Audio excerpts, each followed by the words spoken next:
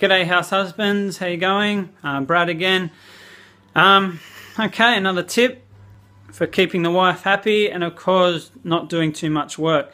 So if you're anything like me, uh, you do cook sometimes in the house but your wife cooks a bit more than you do.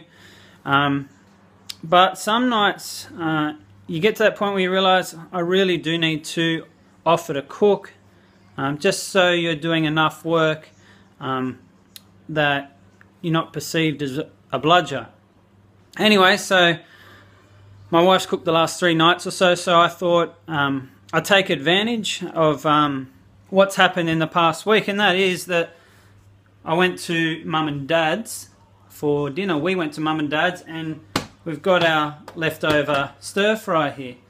So I'm going to offer to cook dinner um, because it would be ridiculous to cook dinner if you had to go from scratch. You take advantage of the situation. Uh, so I'll just go out and ask the wife.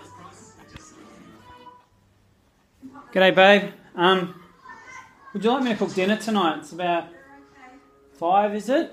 Um, and uh, that way we can cook for six. You can just sit down, have your peppermint tea, and do some notes and enjoy that. Yeah. See, too easy. All right. That gives you an hour to basically reheat a stir fry.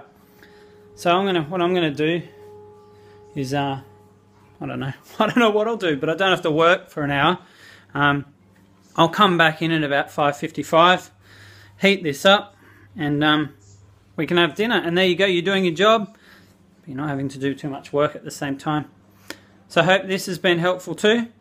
Um, oops. All right. I've been speaking for over two minutes now. I better go. See you next time.